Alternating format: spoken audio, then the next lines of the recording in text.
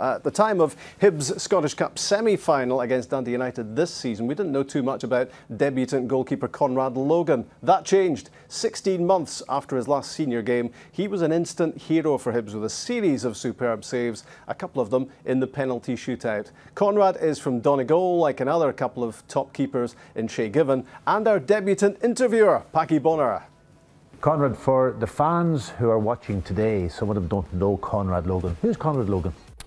Um, well, I was born in Donegal and I came over to England, 15 year old, went to Leicester City um, and basically spent most of my career, 15 years at Leicester, um, until obviously I, I, came up here a, a, couple of months ago. Your dad was one of my heroes and he played for Finn Harps, of course. Had he a big influence on your life? He did. Um, like ever since I could uh, walk, I was going to him with games. He was sort of at the end of his career at that time. I never got to see him probably in his in his best days when he was when he was playing there. Well, I seen him and he was a magnificent player. Yeah, well, that was how I got into football. football mad from from that age. You know. Why goalkeeping? Well, because of yourself. Um, because of me or yeah, Shay? No, well, it was you. Obviously, your penalty save in, in 1990. I remember watching it in the in the sitting room. Timofte against Bonner.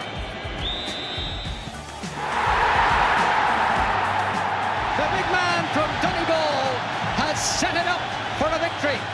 After that, I always wanted to dive like Paddy Bonner for that penalty and get my leg up and everything. I was four years old and diving around. My mum was telling me to go mad because I'll break my arm or something. But um, that was it. And when you when you had the homecoming and, and, the books came out and stuff like that, I used to. My dad took me to one of your signing sessions. And did I sign it for you? You did. You did. Yeah, it was all good. I just remember you saying to me, "If you're half as good as your dad, you'll be all right." And I always remember that ever to this day. You were out for about 15 months with injury. Was there any doubt in your head that you would, wouldn't come back at that point?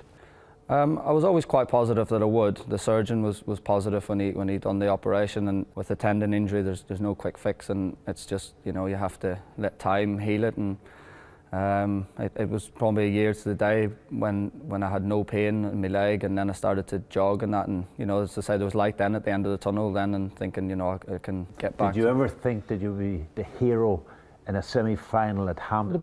Not this soon.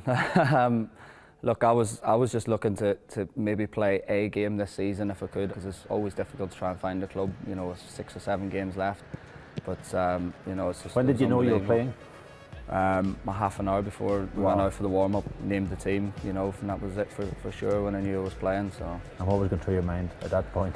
Do you know what? I, I was I was probably as relaxed as I had been in any game throughout my career. I think when you've had an injury and you realise what you know things that go on outside and that and maybe just being a little bit older and everything I, I just enjoyed it like I thought this is an unbelievable opportunity go out and enjoy it and you know, just back yourself. And goalkeeping is about confidence, isn't it? And that first save set you up.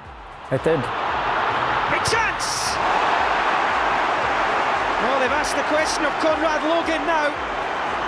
Early enough in the game to, to, to make a decent block, and you know, it just it went on from there. McKay was in an onside position there, and he's forced it through. Here for Henri Anier, another good save.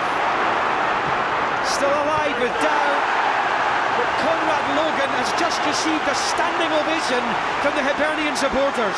It probably gives the defenders and people I haven't played with as well more confidence thinking that, you know, hopefully they can rely on you if, if, if they do get through. And the first William Hill Scottish Cup semi-final is going to a penalty shootout. When I came to the club, I, I didn't quite um, realise how long it was since since they won it, and they, they said to me, "Look, if you play in the semi-final, you could be could be a hero."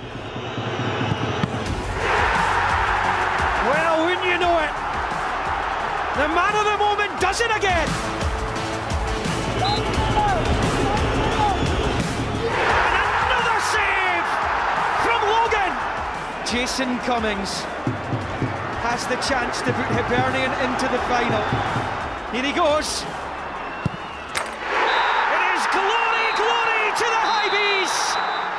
I didn't realise, you know, what it really meant to the fans till after the game, and and the, you know the, the, the, tweets and things I've read in the paper and that you know about how much it really does mean to the fans.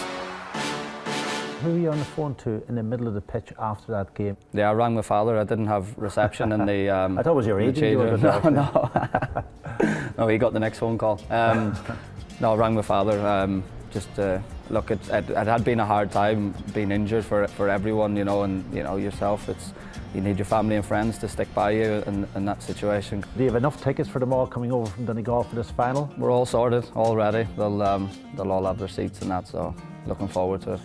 Okay, the best of luck. Thank you.